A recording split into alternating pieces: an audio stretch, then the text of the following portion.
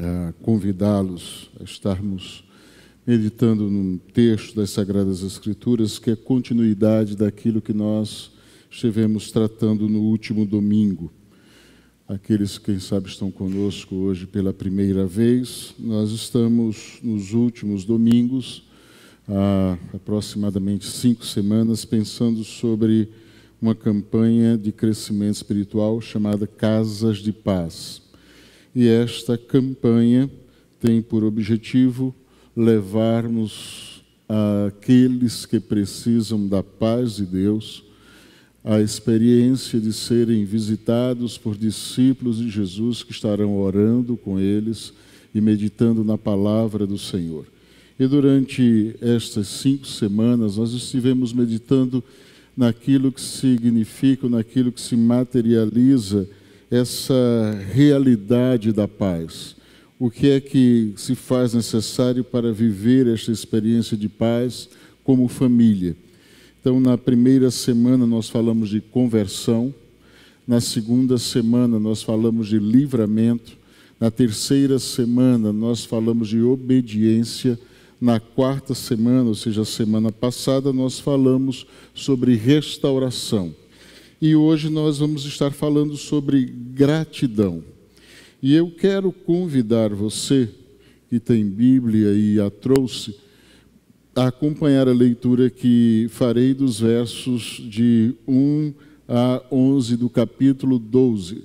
A semana passada nós meditamos sobre a ressurreição de Lázaro, que encontra-se no capítulo 11.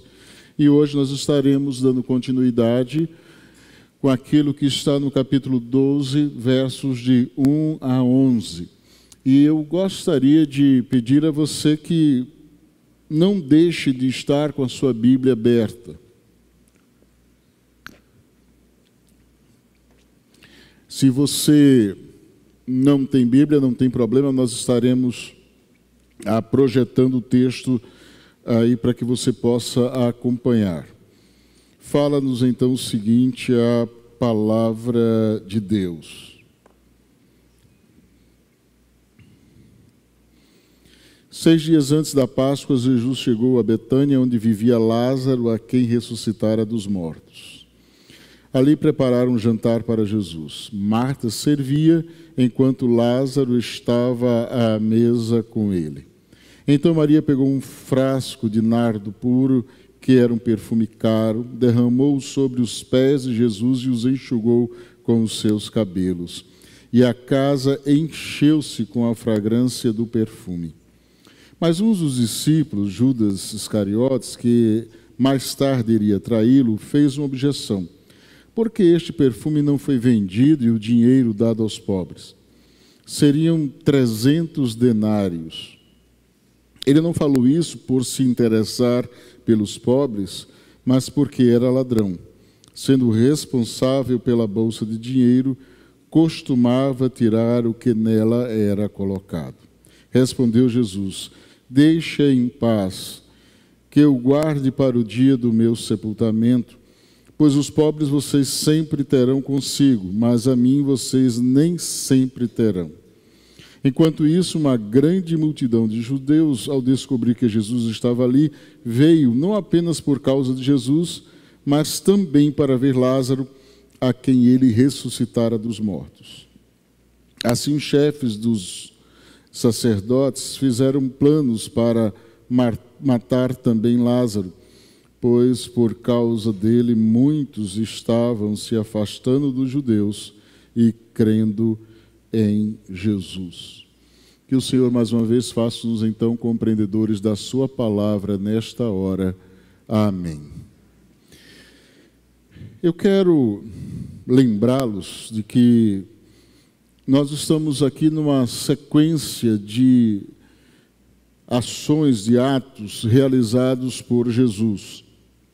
E desde aquilo que é a morte e ressurreição de Lázaro, e um pouco antes, Jesus Cristo está vindo de Jericó, passa então por Betânia, ali ele tem a oportunidade de trazer à vida alguém que havia morrido há quatro dias, E depois disso, seis dias antes da Páscoa, ou seja, da sua chegada em Jerusalém para aquilo que seria a sua paixão, ou seja, morte e ressurreição, eles dão a Jesus este banquete.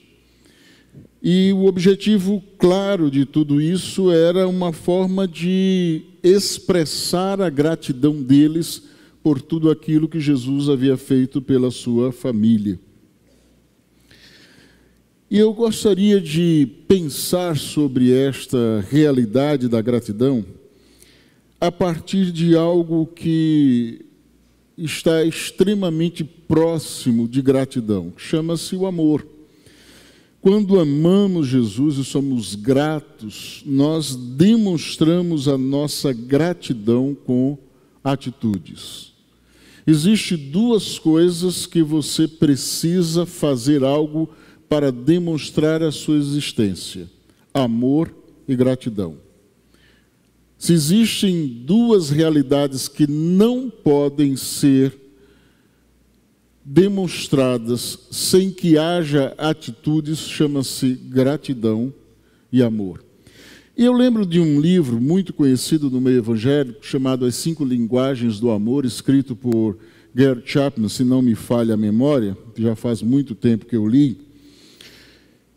Ele afirma que nós temos uma mesma realidade, ou seja, nós temos amor, mas demonstramos isso de formas diferentes.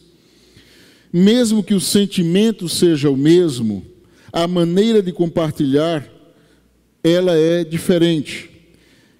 E aqui eu quero fazer uma consideração. Eu certamente não acredito que existam apenas cinco maneiras de se demonstrar amor. Estas são as principais que ele catalogou com seu estudo, com a sua pesquisa, e trouxe como definição para demonstrar que existem maneiras diferentes de se mostrar que se ama. Demonstrando que pelo menos cinco maneiras existem de demonstrarmos aos outros o amor que sentimos. Porém, o que ele afirma é que, mesmo se tendo diversas maneiras de se demonstrar amor, jamais teremos alguém que ame sem que demonstre isso.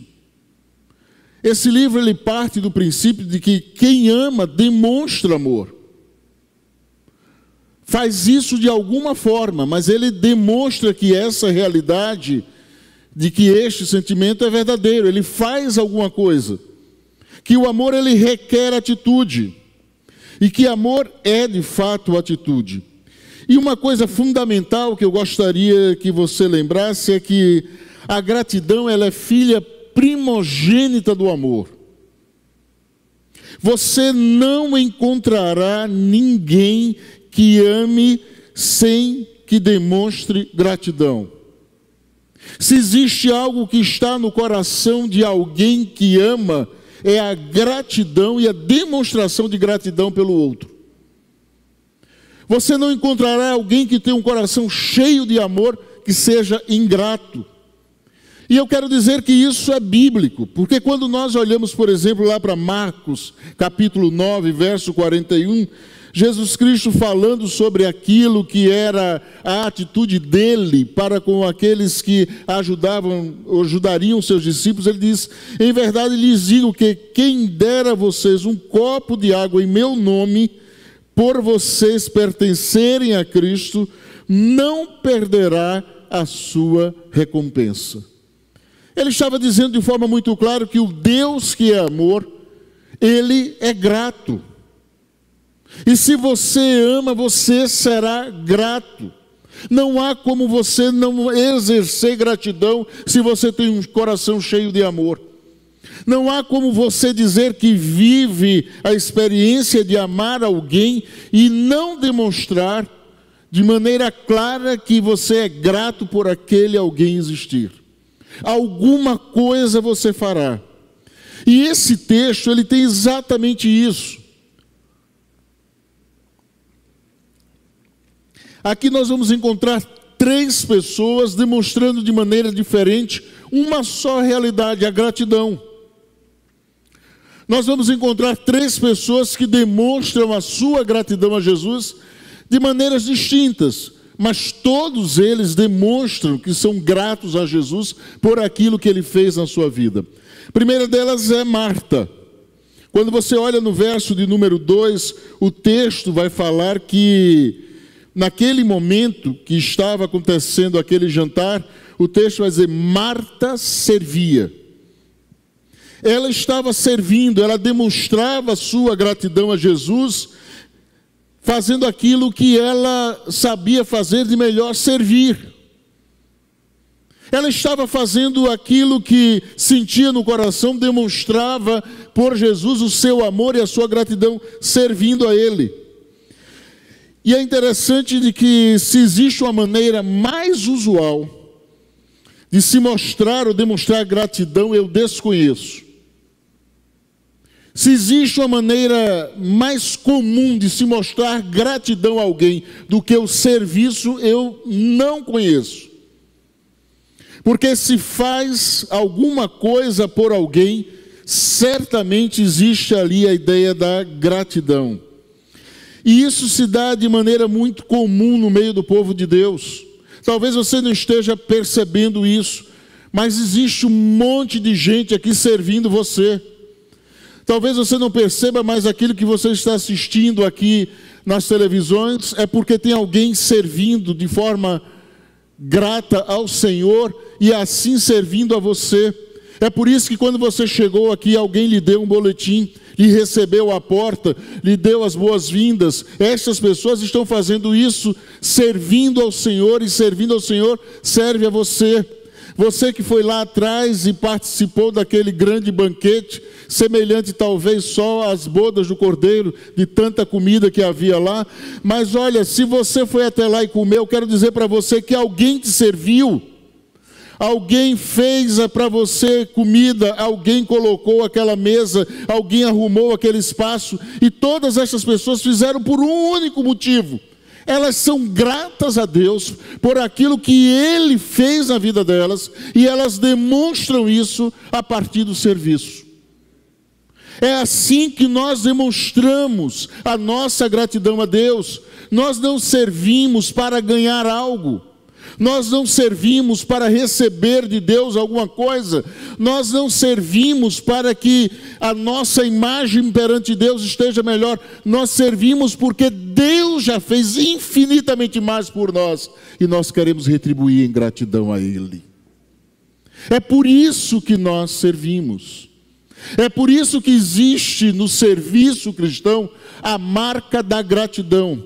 Algumas vezes as pessoas não entendem aquilo que acontece, por exemplo, com Marta lá em Lucas, no capítulo 10, quando ela é repreendida pelo Senhor por estar querendo fazer o Senhor de servo dela, mandando Maria ajudá-la no serviço. Em momento algum, Jesus está repreendendo o serviço de Marta. A repreensão de Jesus não é porque ela está servindo, a repreensão de Jesus é porque ela quer fazer com que Maria tenha a mesma atitude dela. E aí muitas vezes nós erramos com os nossos irmãos por achar que a forma dele servir ou a forma dele demonstrar gratidão por ser diferente da minha talvez ele não ame a Jesus ou não seja grato. Era essa a repreensão de Jesus. E aí é bom entender que serviço, no contexto da palavra de Deus, é também um ato de adoração. Existem duas palavras gregas para demonstrar ações muito próximas. Uma é liturgia, que tem a ver com adoração, e a outra é leiturgia, que tem a ver com serviço ao povo de Deus. São palavras muito próximas e que se confundem algumas vezes, porque tanto serviço quanto adoração significam uma só coisa. A língua inglesa faz essa conexão quando você chega diante de uma igreja nos Estados Unidos, você vai ver lá o horário do culto e em cima está escrito serviço. Porque para eles adoração e serviço são coisas semelhantes. E eu quero dizer que uma das maiores demonstrações de adoração a Deus é a sua disposição em servi-lo. Tornar a sua vida útil ao Senhor é um ato de adoração e uma atitude de gratidão a Deus. Segunda coisa que a gente encontra, a segunda demonstração é de Maria, que derrama esse unguento, esse perfume precioso. Alguns estudiosos dizem que ele tinha em torno de 500 ml. Eu não sei se você encontra por aí perfume de 500 ml, mas deve ser um, um litrão assim, uma garrafona enorme. Normalmente os perfumes têm vidros menores. E aquilo era utilizado como, segundo alguns estudiosos, como uma forma de uh, diminuir aquilo que era o odor feminino, principalmente para aquelas que viviam na prostituição. E há alguns que ligam a vida de Maria a essa realidade. E então, essa ideia do chamado vaso de alabastro que foi quebrado, significava dizer não apenas que Maria queria demonstrar a sua adoração, a sua gratidão a Jesus, derramando aquilo que era preciosíssimo, significava um ano de trabalho, 300 denários, o denário era um dia de trabalho, então são 300 dias de trabalho, quase um ano de trabalho. Ela vem, quebra aquilo e derrama sobre os pés de Jesus. E é importante que a gente saiba disso, porque que ela derramou aos pés de Jesus, porque quando os judeus se reuniam para jantar, eles não faziam como nós usamos cadeiras para nos sentarmos à mesa, eles se ajoelhavam sobre os pés, os pés ficavam para trás, e assim ele derramou ali o, o óleo, unguento sobre Jesus e enxugou com seus cabelos, porque os pés de Jesus ficavam para trás, porque ele estava sentado, como eles sentavam, sobre os pés. E assim ela pôde fazer isso. E nesse momento, a expressão de gratidão de Maria a Jesus foi demonstrado por duas coisas. Em primeiro lugar, pela a sua adoração, a, o seu amor a Jesus. Acontece aqui algo que era inconcebível. Se você perceber, só estavam ali sentados homens, porque só os homens sentavam à mesa. E quando eles estavam reunidos, as mulheres não se aproximavam. As mulheres hebreias não tocavam os homens, somente os seus maridos, homens estranhos não eram tocados por elas. E ela vem e toca Jesus, derrama aquele unguento e faz algo inaceitável, porque tira o pano do cabelo e enxuga aqueles pés com os cabelos, mostrando, deixando a mostra mas isso tudo demonstra aquilo que é a sua forma escandalosa de dizer: Jesus, eu te amo apaixonadamente. Eu quero rasgar o meu coração em demonstração de amor. Eu quero que o Senhor saiba quão grande é o meu amor e a minha paixão pelo Senhor. Eu quero colocar toda a minha vida diante do Senhor. E nesta declaração apaixonante, escandalosa de adoração, de forma extraordinária, ela coloca uma outra coisa que é uma vida completamente consagrada a Jesus. Com a quebra daquele vaso, acabou o passado, não havia retorno à vida antiga. Não havia como voltar o que foi feito antes. Ela estava dizendo: Senhor, a minha vida agora está rendida aos teus pés. Eu quero dizer ao Senhor que tudo o que eu sou e tenho está rendido aos teus pés. Nós não buscamos viver uma vida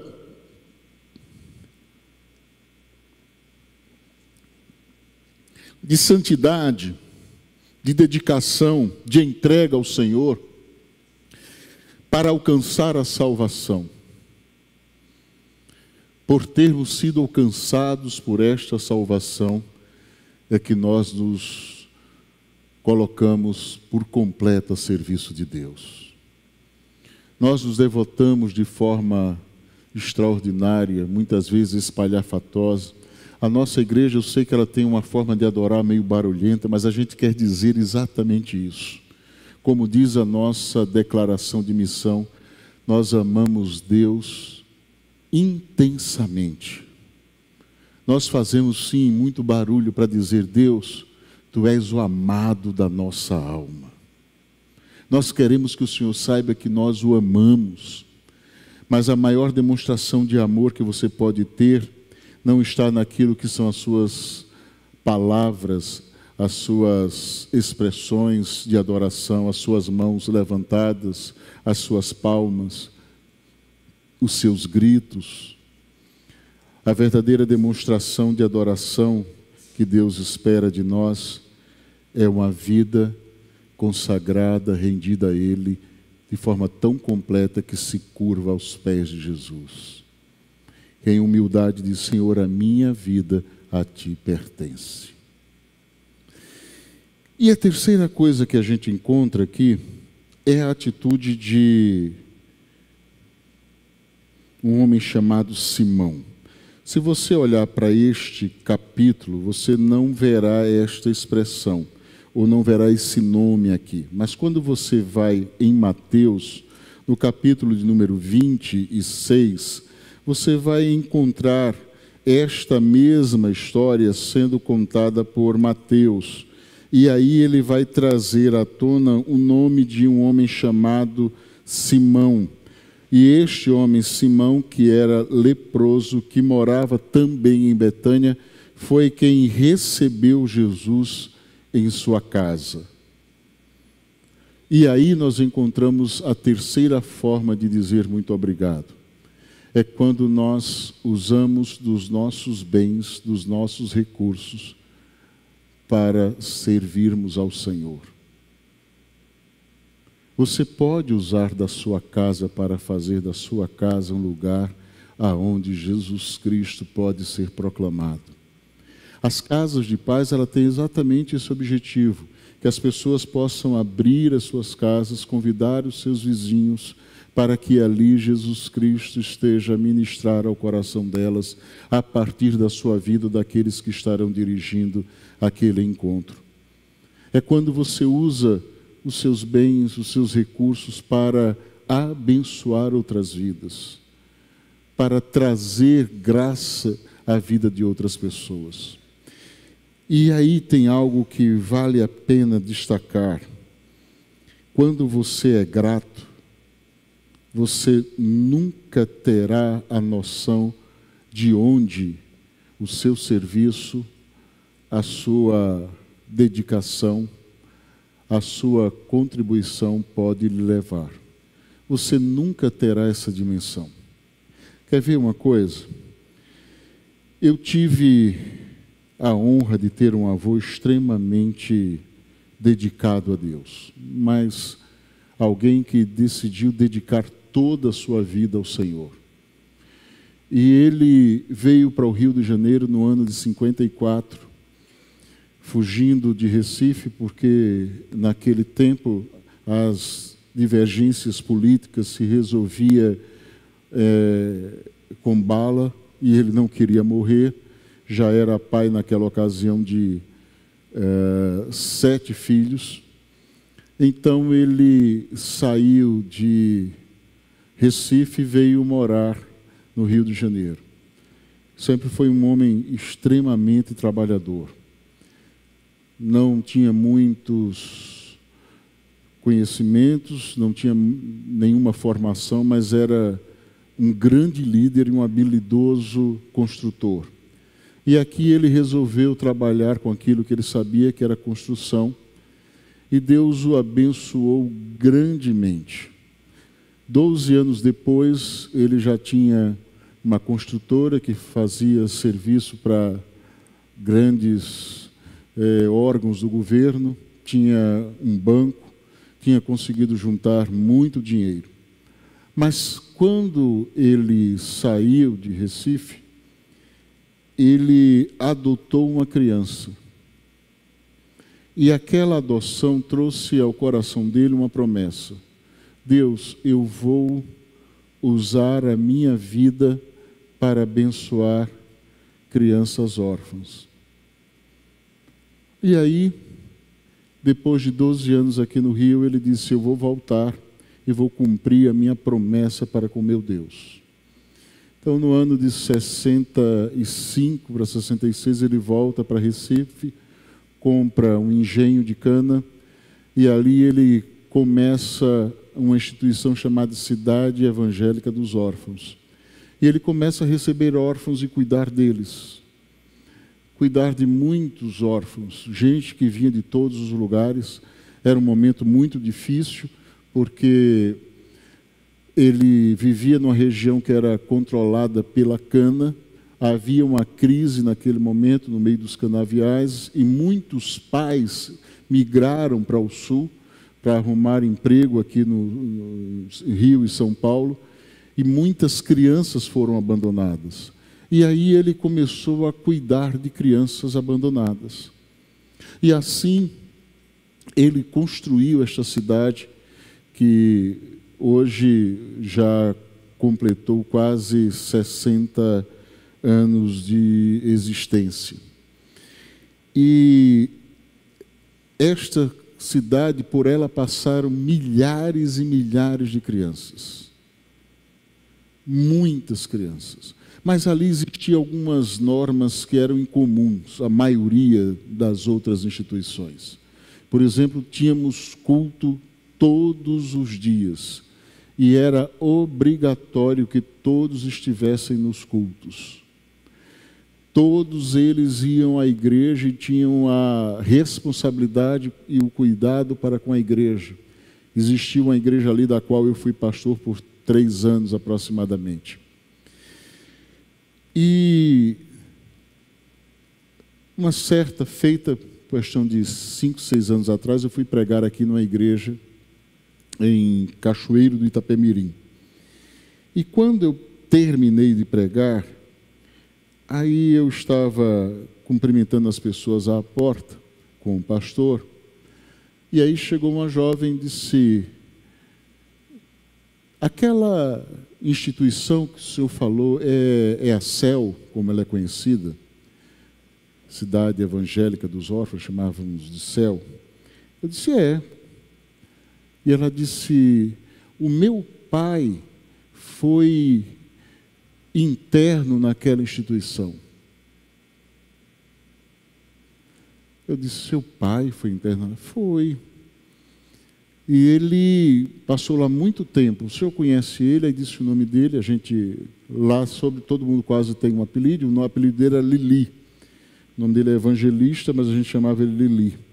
Eu disse: Sim, eu conheci Lili. Muitos anos estive convivendo com ele. Pois é, eu sou filha dele. E aí ela ficou numa alegria tremenda, foi até lá, chamou o esposo e chamou, mostrou as crianças, ela tinha dois filhinhos. E aí ela estava dizendo para mim: Olha, a vida que eu tenho hoje, as bênçãos que eu tenho recebido na minha vida e na vida da minha família, começaram no dia que meu pai chegou àquele orfanato e foi ali recebido e teve a oportunidade de ouvir da mensagem do Evangelho. E assim ele encontrou Jesus. E a partir daí a vida dele foi transformada. Transformou a vida da minha família. E hoje está transformando a minha família, a família do meu esposo. Você não sabe até onde vai um ato genuíno de gratidão. Deus pode fazer coisas extraordinárias a partir da sua atitude de dedicação, serviço, amor, entrega. Deus pode usar e muito a sua vida. Eu quero convidar aqui à frente um casal, o Márcio e a Denise, para que venham aqui. E vai ter que trazer o Mateus, porque eu não acho que ele vai querer ficar sozinho.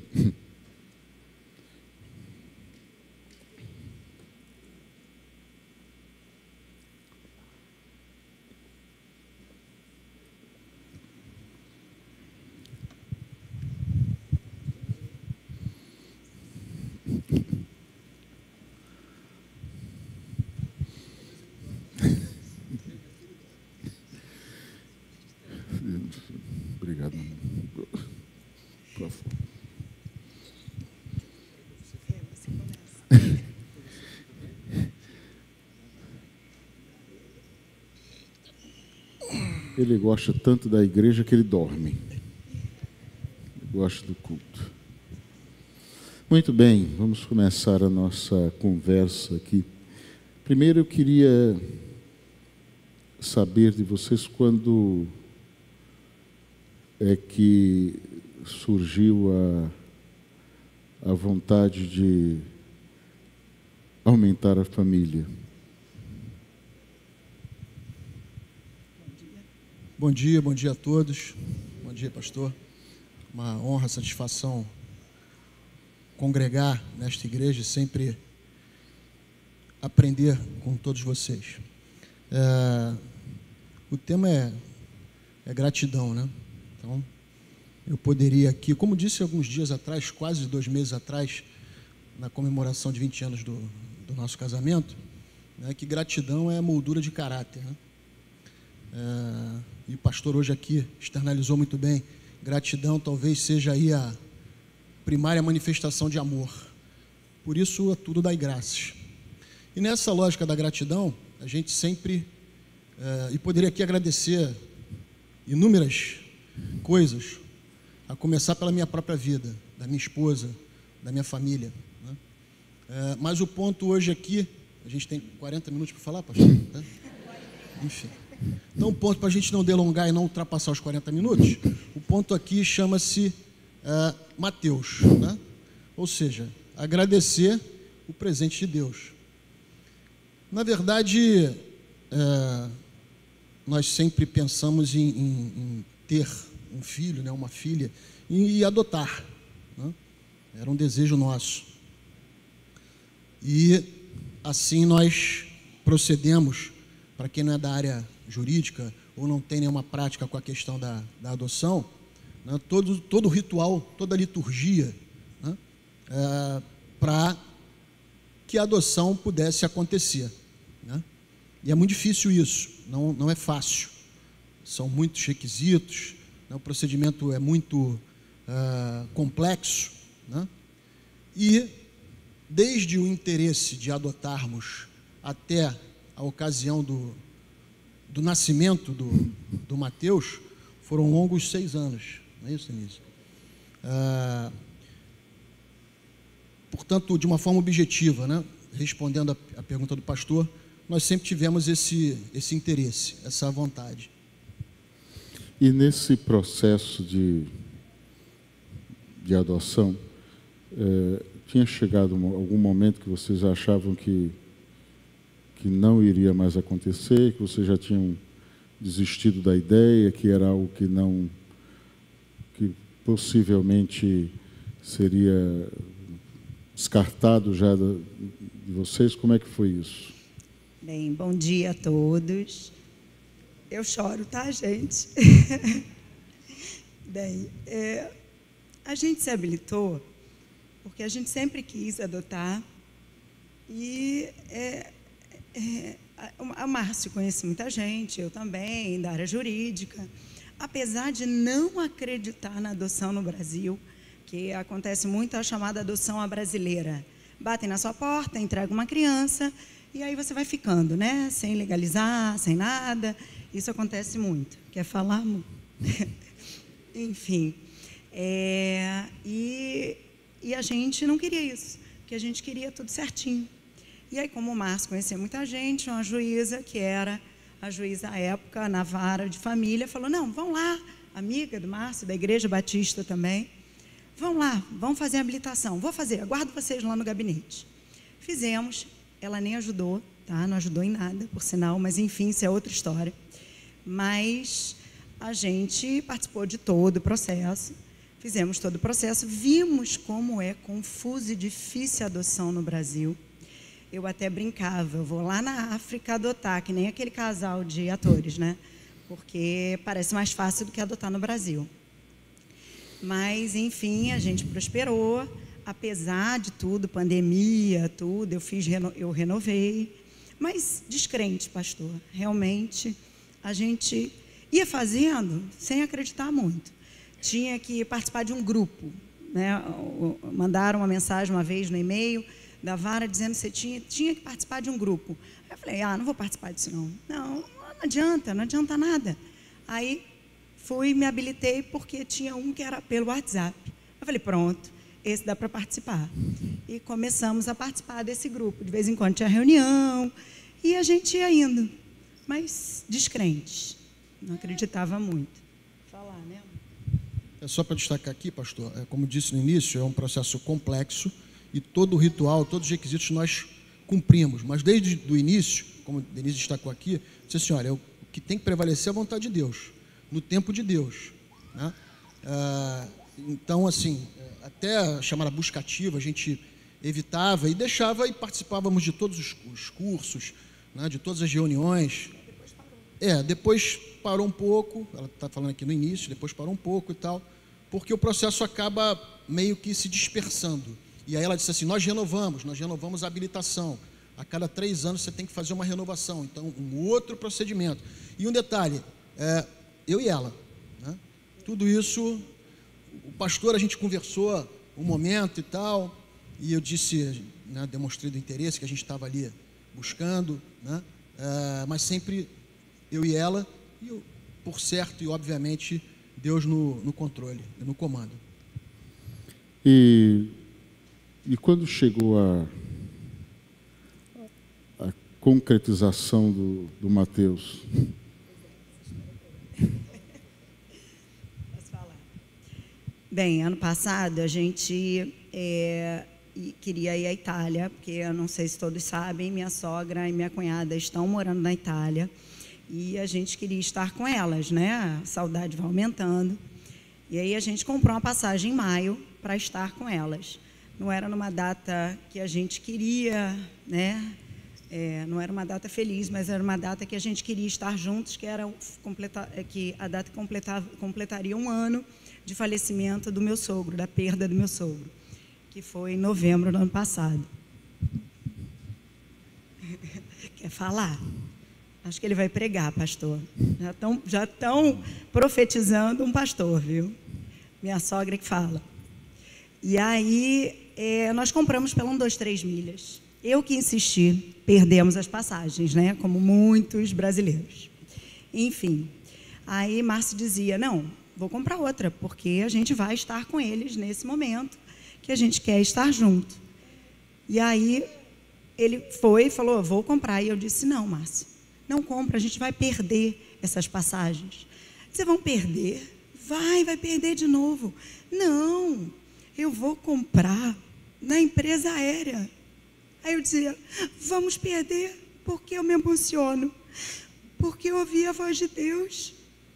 Dizia assim para mim, toda vez que ele falava, a gente vai viajar, eu ouvia, vão ligar da vara. E dizia mais, vão ligar da tal vara Quer dizer, meu Deus, quanto tempo nem ninguém fala com a gente, nem procura a gente, nem fala nada. De repente, mas falava da viagem, eu dizia: Não, amor, a gente não vai viajar. Vamos perder as passagens. Vão ligar da vara, meu ouvidinho só ouvindo, vão ligar da tal vara.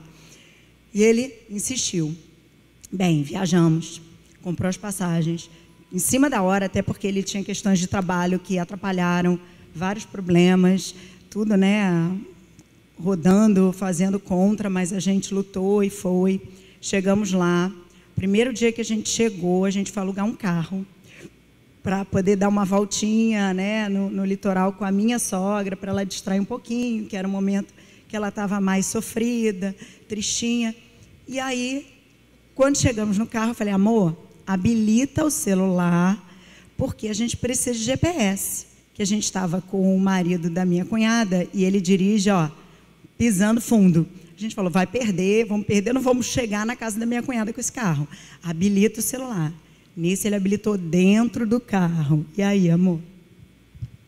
Bom, só voltando rapidamente, é, houve, houve essa, né, essa perda da passagem, dois, três milhas, como ela bem colocou. A gente tinha marcado uma data que ela organizou a viagem, né, e eu, nós, é, eu insistia muito nessa questão do, da data né, é, que ela comentou de, de um ano, é, mas tinha muito impedimento de trabalho, né? E, e, assim, parecia que as coisas estavam acontecendo ali, processo de quatro, três anos, coisa muito conhecida na mídia aí, não vou ficar citando aqui, mas é, resolveram marcar o julgamento naquela data. que a gente estava organizando para viajar. Eu fui, falei com todo mundo, fui no presidente do tribunal, falei, pô, vou viajar e tal. Márcio, não tem como, a gente tem que marcar o julgamento. Remarcamos de novo. E aí, em cima da hora, eu falei, Denise, olha aqui, ó, comprei a passagem de supetão. Nós vamos daqui a três dias. Ela, mas a gente vai perder essa passagem, a gente vai perder essa viagem, a gente não vai poder viajar.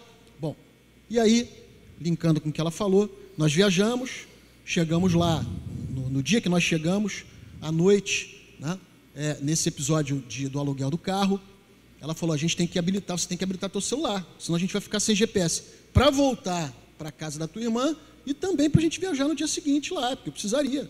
Eu falei para ela, Denise, eu não vou habilitar. Ela, mas e o GPS? Eu falei, Denise, quando eu ligar esse telefone, ele vai começar a tocar.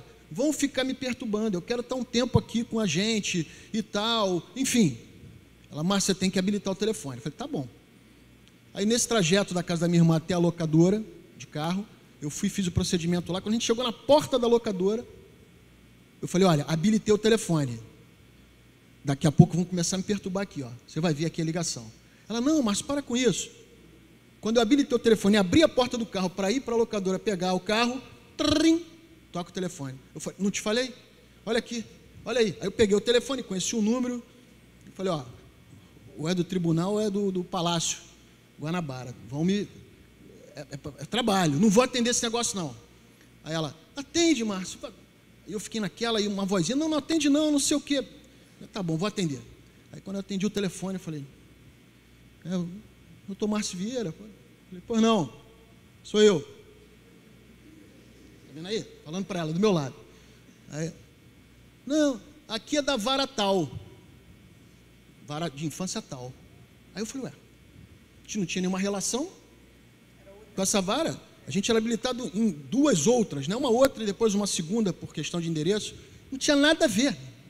Enfim, Aí ela, da vara tal, eu falei, ah, pois não, achando que era alguma coisa de trabalho, de, disse, não, a gente está aqui com um bebezinho, filho de vocês, e a gente queria que vocês viessem aqui pegar o filho de vocês. Aí eu na mesma hora, aí eu olhei para ela, falei, não, peraí só um minutinho, a senhora, por favor, trate isso aqui com a minha esposa. Peguei o telefone e passei para a Denise.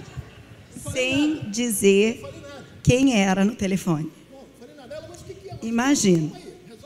Aí a pessoa virou para mim e falou assim: Olha, o bebê de vocês está aqui, ele tem dois meses, está esperando vocês. Imagina. Na hora eu pensei: vão ligar da vara tal, ouvi isso. E eu ouvi. E ela não disse qual era a vara para mim, disse para ele, não disse para mim. E aí eu não conseguia falar, travei. Ela perguntava assim: vocês querem? Eu só conseguia responder: sim, sim. É, comecei como agora, né? Mas enfim. Mas aí eu consegui explicar onde a gente estava, né? Segurei, trouxe forças, expliquei onde estava, expliquei o que, que a gente estava fazendo lá, o porquê a gente estava na Itália. E aí eu não sei se todos sabem, é, a vara de infância ela tem uma preocupação com o menor, com a criança. Então é assim, é, esse casal pode ficar com a criança ah, então vem agora. Se não vai na hora, infelizmente, esse casal perde e vai para o seguinte. Vamos ver um casal que possa atender a criança naquele momento. E a gente ia passar dez dias na Itália. Aí a gente, eu conversei, conversei, elas decidiram fazer uma reunião online, uma videoconferência com a gente, para ver todo o nosso interesse. E também fizeram uma reunião lá com os coordenadores, juízes do local e decidiram aguardar a gente esses dez dias. Bom, aí eu, me atordoada ali, eu falei, Denise, faz o seguinte, vai lá, resolve o carro lá, eu tomo o cartão, paga lá, vê o que, que é, depois eu só assino. Isso, meu cunhado veio, né? Falou, mas o que, que houve? Denise chorando. O que, que houve, cara? Eu falei, não, fica tranquilo, meu irmão, você é, é choro de alegria, tá tudo certo. Aí ela foi lá, eu peguei, pum, assinei, entrei no carro, Aí já estávamos no carro dele e a gente no nosso carro alugado lá, eu e Denise, e aquele silêncio sepulcral, né? Enfim, nos primeiros minutos. Pegou, quer falar, cara? Primeira coisa que eu falei com ele quando eu recebi foi: Eu te louvarei, Senhor, de todo o meu coração. Eu te louvarei, Senhor, de todo o meu coração Na presença dos anjos a ti cantarei. Ele, ele acalma. É, eu falei que ia cantar, viu? Enfim, era em Ré menor, mas ele saiu um pouco no. É, e aí a gente entrou no carro, né? E aquele silêncio, aí Denise me olhou, eu falei, fala, Dê. Fala, Dê. Aí ela, lembra quando eu te falava que a gente ia perder essa viagem? Aí eu falei assim, lembro, sim, mas e aí? Ela falou assim, ó, vou falar um negócio para você agora, que se eu falasse antes, você ia falar, tu tá maluca. E aí ela contou essa história. Deus falava comigo, falou comigo algumas vezes, que quando a gente estivesse aqui na Itália ou viajando, né? Que a gente ia perder essa viagem, por quê? Porque, é, ia ligar, porque iam ligar da vara. Aí eu falei, é, pô. Aí nesse momento ela vira para mim e assim, não foi a vara tal? Eu falei, ué, foi. É essa, que não tinha nada a ver. Ué, porque você não sabia? Ela, não, eu sabia. Sabia porque Deus tinha me falado. A funcionária, assistente, não falou absolutamente nada. É, e daí, como ela disse, né, a gente teve essa reunião online e tal, e, e, e depois, na, na, nossa, no nosso retorno, eles abriram essa exceção. No nosso retorno, né, quando estivemos lá na vara, ah, vocês são ah, o casal da Itália. Aí chamaram a gente e falaram assim: olha, realmente vocês sabem, né? Porque isso aqui não existe. A gente teve a reunião aqui interna com toda a equipe, né? enfim, para abrir essa exceção. Ah, e mais uma vez a, a mão de Deus. Né? É, porque a gente pegou o Mateus, a gente viu num dia, Aí a assistente social, isso tem que contar. A assistente social perguntou assim: Paizinho, você tem as coisas para ele? Se quisesse levar. Verdade. se quisesse levar ele agora, você teria as coisinhas para ele? Aí ele: Claro, tem um quarto lá em casa. Não tinha um berço, uma fralda, uma mamadeira, nada. Aí a gente foi descobrir tudo que a criança precisa, né? Em uma hora a gente comprou assim o básico básico, a gente comprou tudo em uma hora para conseguir levar. Pegamos ele num final de semana, que seria só aproximação, e a gente teria que devolver. Ele nunca ficou em abrigo, ele ficou em casa acolhedora. E aí a gente teria que devolver para a família acolhedora para dar continuidade, para dar assim início no, ao processo de adoção, porque são três processos: habilitação, retirada do menor da família né, de origem e a adoção. Então a gente ia dar início à adoção. Depois que você encontra a criança, é que dá início a esse processo. E aí era para devolver e dar início ao processo. Mas ele já estava tão integrado com a gente num final de semana que ele não foi devolvido. Ele já ficou com a gente, porque assistente social, psicóloga, todo mundo falou assim: não, não tem como, não tem como ele voltar para a família acolhedora, ele já é de vocês. Ele, acho que ele nasceu já para ser nosso filho. Amém. Enfim, dez dias a gente conseguiu eliminar. Aí entra também o, o Márcio e a Denise, advogados, enfim. E aí a gente conseguiu eliminar e está aí aqui, ó, crescendo em estatura e sabedoria para a honra e glória do Senhor Jesus. Obrigado mais uma vez. Obrigada.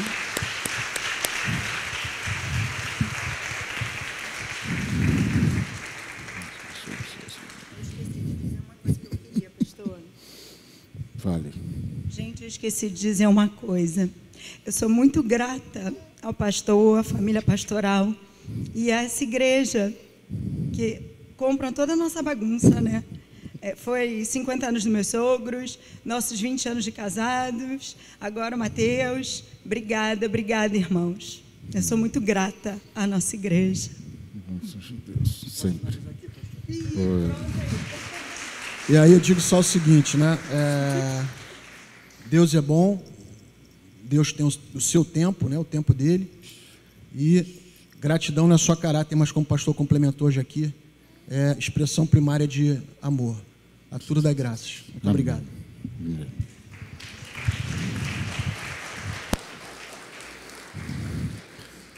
Nós estamos chegando ao momento final. Eu tenho sempre deixado esse momento para a gente tomar uma atitude diante daquilo que a gente escuta, né? algumas vezes são situações que nós guardamos no coração ou situações que nós não agimos de maneira correta para com aquilo que nós gostaríamos. Nós falhamos, nós esquecemos, né? nós erramos em determinados momentos. Mas eu quero dizer a você que hoje é um tempo de você agradecer a Deus de uma maneira bem prática. E eu quero te convidar a estar dizendo isso diante do Senhor. Nós vamos estar orando nesse instante, né? colocando diante do Senhor a nossa, a nossa gratidão. E eu quero convidar você a sair do seu lugar, eu quero orar por você. Quem sabe seja esse o momento de você dizer: Deus, muito obrigado, muito obrigado, porque eu não estou é, vivendo algo qualquer, mas eu estou vivendo um tempo muito especial do Senhor na minha vida. Quem sabe seja a hora de você dizer muito obrigado, porque Deus fez algo extraordinário na sua vida e você ainda não teve a consciência de dizer a Ele quão isso foi especial e quão isso é importante. E talvez você não esteja dizendo obrigado tanto quanto deveria, porque Deus quer que você faça isso constantemente. O apóstolo Paulo é que vai dizer, né, em tudo dai graças, porque esta é a vontade de Deus para vocês em Cristo Jesus, nosso Senhor. Todo tempo é tempo de sermos gratos. Quem sabe não seja esse o momento de você dizer: Deus, eu quero ter um coração grato. Nós temos muitas pessoas murmuradoras, temos muita gente reclamando, temos muita gente sentindo-se aquém daquilo que deveria ser a vida mas quem sabe você quer dizer hoje para Deus: Deus, obrigado. Eu quero te agradecer, eu quero viver a vida experimentando isso a cada dia, de ser grato ao Senhor. Eu quero viver sim continuamente para dizer a Ti muito obrigado, seja através das minhas ações de serviço, seja através da minha adoração, seja através da minha consagração, doação, mas eu quero ser grato a Ti. Eu quero te convidar então a sair do seu lugar e vir aqui à frente orar conosco. Eu quero colocar a sua vida diante de Deus. Eu queria convidar o, o irmão Douglas que estivesse aqui conosco. Nós vamos estar orando por você. Você quer ser grato a Deus ou quer apresentar a sua gratidão a Deus? Você quer hoje compartilhar daquilo que é o desejo do Senhor para a sua vida?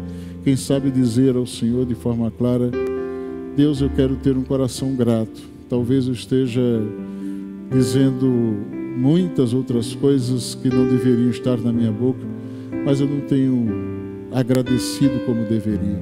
Então eu estou aqui com o irmão se você quiser orar conosco, quem sabe dizer, Senhor, a partir de agora eu quero viver gratidão na minha vida, constantemente. Saia do seu lugar, venha orar conosco. Nós queremos colocar a sua vida diante do Senhor nesse instante.